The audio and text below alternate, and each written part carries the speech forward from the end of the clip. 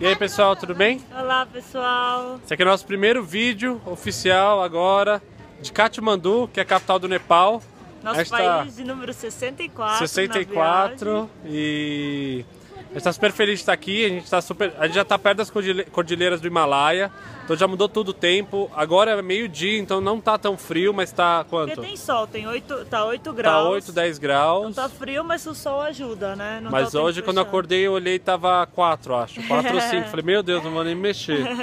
E a gente veio visitar o centro hoje Durbar aqui. Square. Durbar Square é o nome? É que é a, a, região principal, que na verdade é um complexo com vários palácios e e vários templos, então assim, é uma área que geralmente os turistas sempre vêm e até quando a gente vê as imagens do que aconteceu é, do terremoto que aconteceu em abril do ano passado, acaba mostrando abril várias... Abril de 2015, né? É, imagens daqui, porque vários templos foram destruídos.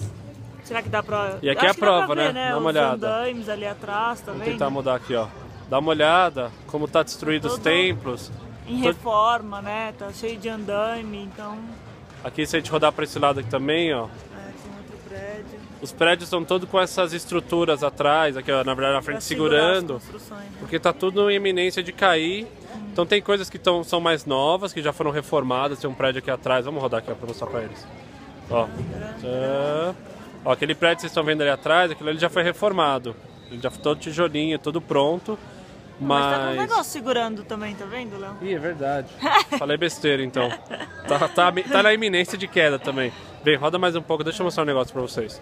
Aí dá uma olhada, ó. Aqui, ó, tem um monte de barraquinha pra vender coisas, tá vendo? É, assim, souvenirs, assim, é, coisinhas de. A de primeira viagem. impressão, assim, a gente que tá vindo da Índia, né, Léo? Tudo é muito mais calmo, tudo... Nossa, que paz, que paz. É, tipo, no, é muito mais limpo, né? As calçadas, assim, toda hora você vê gente limpando. As pessoas aqui para vender coisas, assim...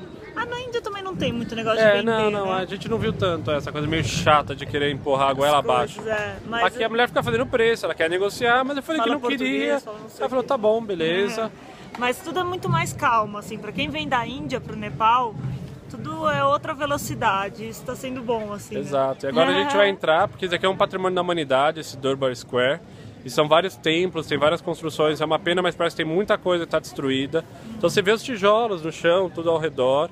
Mas a gente está aqui, veio aqui ver, vamos andar. E daqui a pouco a gente legal, grava né? de novo, né? É, Valeu. Legal. Valeu. Pronto.